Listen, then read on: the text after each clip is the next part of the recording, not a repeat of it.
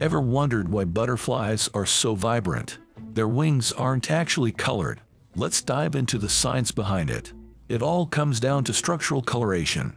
This fancy term means that tiny structures within the butterfly wings play with light. They reflect, they refract, and they diffract it. What we see is a beautiful play of colors, a dance of light that paints the butterflies in the most stunning hues.